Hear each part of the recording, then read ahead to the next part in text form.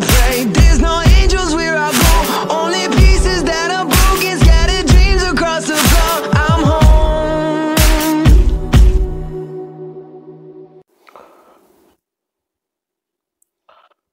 Okay, hello, hello everyone. This is Kirusho here, and I am very certain this is going to be part. That's perfect timing. Part seven of where Deku was a spirit detective. Now, whenever we last left off, Deku had actually had a small run-in. I believe we left off with him having a run-in with Kurama. And now, hmm, uh, let me check that real quick. Alrighty, I just checked, and I did leave off at the hospital. Now, Deku would actually go there the next day and meet with Kurama. He would say that, you know, you don't seem very evil. What's the deal with that? Kurama would then say that he'll give him an explanation, but first he needs he wants him to meet somebody. So Deku would actually walk into the hospital with him, and Deku would meet his mother. Deku would be confused and would try and ask a question, but all you would hear from Kurama, Kurama's mother is, Mineta, what are you doing here? Yes, that is right. Kurama, in this timeline, when he escaped to the human world, entered Mineta's mother's body and took Mineta's place in this what if. Yeah. Anyways, that is whenever Deku would kind of be confused because he thought his name was Kurama. Now let's cut to later on in the day Deku and him are essentially hanging out at the hospital, and they're actually on the rooftop. He would have actually given Deku the explanation that 15 years ago, about well, over 20, not 20, over 15 years ago, because they're not 15 yet in this What If.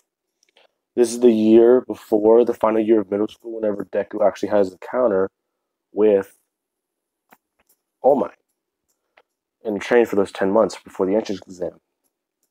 Yes, so got quite a lot of ways to go. This is whenever Deku we get the explanation that, oh, back then, 15 years ago, he was a spirit fox in the demon world. And how, after many centuries, many years, he essentially gained power and he was bored, so he became a thief, in a sense. Going around, solving puzzles and breaking locks.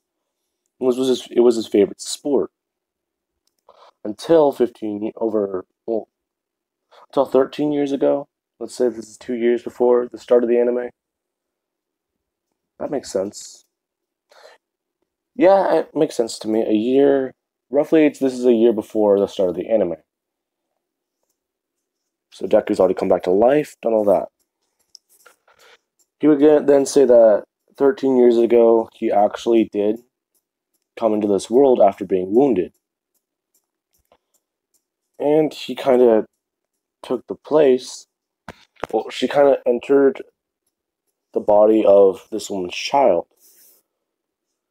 So he feel he actually did feel he didn't feel guilty at first but over time and getting to know humans and being essentially human for so long, he had actually quite become fond of the people he knew.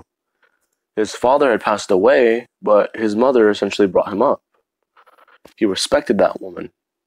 Yes, respected woman Juice Mineta lives on.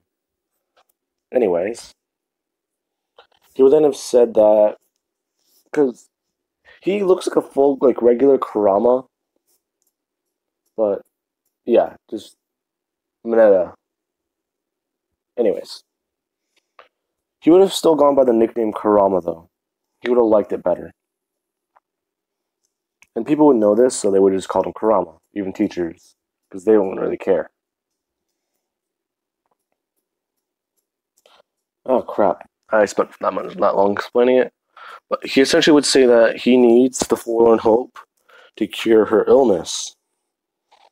That she is been she's been going on like this for months, but with the forlorn hope, he can essentially trade his life for hers. He would explain that yes, he has taken he essentially took this woman's child and took his place. So he feels like he needs to return his life for hers. So after that, Deku would actually try stepping in. Well, he would have started saying something, but the doctors would have actually run up to the roof and actually tell, say, Mineta, it's a problem with your mother. Something's happening. And they would essentially run back into the hospital room, and she, they would see that doctors are trying to solve what's well, they're trying to essentially bring her back from the critical state, but they're barely able to stabilize her. They can essentially only keep her comfortable in her final moments, that she is going to be dying that night. After this explanation, Mineta, that's not, it's weird saying his name when knowing it's a different character. Kurama, I'm just going to be calling him Kurama from now on, will be using the Forlorn Hope sooner than he would have liked. Because it means that he won't be getting its full power. He would try and sacrifice his life because if you look into this object, it will basically reflect your greatest desire, but it will kill you in the process. It will basically like the Dragon Balls, but the dragon has a knife. Now, if there is an odd cut there, that is because I got interrupted. Anyways, yeah. Now then, as soon as he tr- tries to use the Forlorn Hope, Deku would actually try stepping in and telling him that, well, telling the mirror to take his life instead, because if a mother, there's no reason for a mother to mourn over her child. If you save her, she'll just be more, more, there, moping over, over you for the rest of her life. So to take his life instead. Then there's a certain flash of energy, and Deku would still be alive. Mineta, Kurama, would actually start running back into the hospital after realizing that he's he's still alive. Now, after this, Deku would get back up, and the mirror would say that in honor of trying to sacrifice, in honor of your noble noble deed of trying to sacrifice yourself, he has completed the wish without taking life, and that he is a noble person. Deku would then go in and actually see that his mother is actually going to make a full recovery after hearing it from the doctors. Now, after this, let's cut to the next day. And Deku and Botan would essentially have actually started coming into Deku's personal life with going to his school and actually somewhat being around a lot of people. He's hanging out on the roof, and Botan and him are going over the next demon. This is whenever Mina would walk back up on the roof. And essentially, these two are sitting next to each other talking. She would walk up and actually see them. She wouldn't be confused on who Botan is, but she'd be somewhat kind of mad. Because, yeah, they were talking about it and they seemed to be like very invested in the conversation. And then she would walk up and Botan would try and introduce herself, but Deku would actually just like you kind of knock her on the head after she keeps trying to talk about stuff that uh, Mina would not know about. And yeah, this is whenever she would have like immediately just realized, crap, she doesn't know about the spirit world or anything like that. So Mina would then kind of run off, kind of weirded out by this. because she seemed to be a bit stalker with adding some details like about her mother being in the hospital and all that stuff. This is whenever Hiei would actually have joined in, because she would have actually been going home for the day. Now, after this, hmm, after this, he would have actually told her that, well, he would have actually been walking by her on the street, and it's not a very busy one at the time, because everyone's at work and everyone's at school. So he would have actually walked by her and said, "Oh, it's fine. He likes you well enough," as he would cut her with the with the sh- bleh, sword of darkness. He would then say that, well, he would then take her to his hideout. After this, Botan would have actually interrupted Deku while he was in class by essentially pulling him out, pulling him out of class, and actually explaining that he has been sending psychic messages to her. He has Mina. Deku would immediately like realize what's going on. He would start running out of school. As he starts running, Botan's actually following him. Oh yeah. Anyways, after that, Deku would turn on his spirit watch and actually try going towards where he is at. He'd get really mad and irritated because anytime he's running in that direction, no matter how far he goes, it just keeps saying one mile away. Botan would say that he is using his energy to actually lead him somewhere. Basically, like if you were to pull something on a string and your cat's following it because you're trying to get them somewhere and they don't want to listen. He's essentially doing that. Yeah. After this, Deku would arrive at the docks. And he'd be kind of few confused at why they're all, all the way down here by the water. He would then open up a warehouse and find that there's a lot of people in there, but none of them are really moving or doing anything. Then he would uh, introduce himself as a demon. He would open his Jagan eye and then say that usually most humans would have succumbed by now, so the idiots in the spirit world actually did pick a good human. This is whenever he would say that. Did you bring the two other items? He would hand them over and go over to Mina. Now, he's actually holding Mina in his arms, and he's realizing that there's something on her forehead. He would take a closer look, and then he would ask Hiei what did he do to her. He would say that he cut her with a sword and once that Jagan eye opens, she's going to turn into the lowest form of demon. And he's not sure what a person with a quirk would turn into, actually. So he's very interested to find out. This is whenever Deku would get mad and actually run in to punch him. Yeah, he would be surprised at how fast Deku is. And he would say that that might be that, that was a lucky shot and don't expect there to be another one because this is essentially a game of this is essentially going to be a game of tag. The sword contains the only antidote for the Jagan Eye. This is whenever Mina's Jagan Eye would actually start opening. And Botan would actually try closing it with her spiritual power.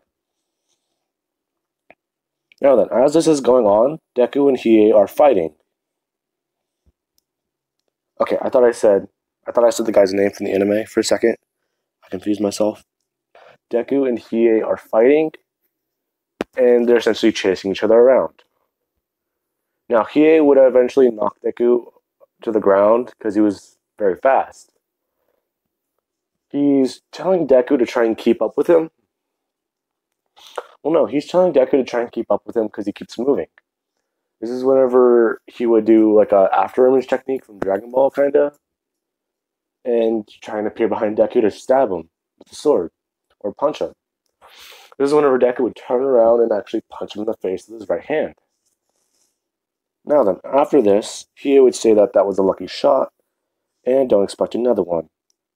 He should be happy because this is the first time he's ever had to transform for a human. Now, he would actually transform it while his skin would turn green and a lot of extra eyes on his body would open. After this happens, Mina's Jagan Eye actually does react to this and starts feeding off the energy. So then, Deku, well, Botan would actually have to begin forcing more energy into her palm to try and keep the eye closed. And this is actually scraping and scratching her hand up a lot. So now then, Deku would get very, very angry at this, and he'd attack Hiei. Now, Hiei would feel really confused because he's faster now. He then told Deku that he's got to give him some props because this is the first time that he's ever seen a human genuinely care about people. Because he's gotten quite a lot faster and quite a bit stronger. So, after this, they would be fighting for a minute, and eventually Deku would realize that he has to use a spirit gun.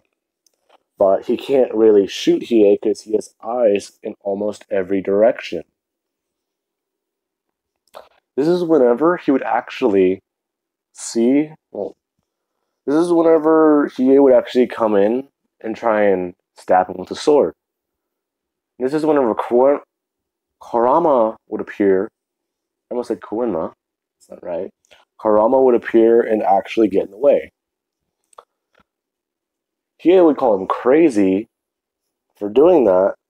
He Kurama would then cut his hand on the sword and throw blood in Hiei's Jagan eye. He then pulled the sword out. Well, Hiei would pull the sword out, and Kurama would fall on his knees. Is whenever Deku would have called him crazy for doing that, and Kurama would explain that if his third eye isn't open, he's essentially almost powerless. It's harder for him to use his power, or he can't use his power. I don't remember what it was. Ew, it's cold in here. Anyways, after that, he would actually start punching Deku around and actually getting him. He would have had Deku on the ropes. Now, he would eventually fling Deku into a cargo crate, or a wooden box. After this, Deku, he would actually turn around and see Hiei, and he then would try and get some distance from Hiei. So he would start running. After this, Hiei would say that he's he knew he was just like every other human, pathetic and selfish to the end. This is whenever he would go chasing after Deku, and Deku would eventually turn around and aim his spirit gun at him and actually fire it. Now, this is whenever Hiei, because he was running straight at Deku, would have jumped into the air. He would say, Nice shot, detective, but you missed. Now then, this is whenever Hiei, all of a sudden, his shadow in front of him would disappear. He'd be confused by this because he was staring at Deku when this happened, but that's whenever everything with the shadow in front of him, all the shadows disappeared and he tried to turn his head. Now, as soon as he went to turn his head, he actually got shot in the back with a spirit gun. How did this happen? The forlorn hope is a mirror, and it was sitting in the corner directly in front of Deku. So Deku reflected the spirit gun off of the mirror and hit Hiei with it. Hiei would call him quite clever before falling onto the ground, passing out. This is whenever Deku would grab, pick up the sword, break the hilt off of it, and actually run over with it and give Mina the antidote. Now, she would eventually wake up, but she doesn't remember anything that happened. So Deku would have to. Well, he would try. Well, actually, no, he wouldn't try, but he would eventually, like, leave her be and let her wake up naturally. But after this, he would try. He would really have trouble trying to explain this, any of this to her. But, anyways, guys, I'm gonna have to leave this part up. Well, actually, no, not that. Deku would have actually been told by Koenma that he did a good job on the case. But.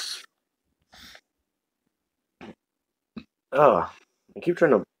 Ugh, my body keeps trying to make me burp, but I can't, so I feel like I'm gonna puke. Ugh. Anyways, this is whenever Koenma would state to Deku that he did a good job for his first case, and it actually was quite surprising. So, just enjoy the downtime for now. After this, Deku and Botan, she would explain to Deku that he did a good job, but since the Sword of Darkness still had blood on it, and the mirror was essentially a pile of glass, Koenma did get spankings for losing for the objects being stolen. Deku would begin just bursting out laughing, and as he's laughing, this is when Mina would walk onto the roof. Now, she would feel like she interrupted something, so she would start running down the stairs. This is whenever Deku would actually go chasing after her, and yeah. Anyways, I'm going to be leaving this part off here, and I hope you guys have enjoyed the video. Alright, later.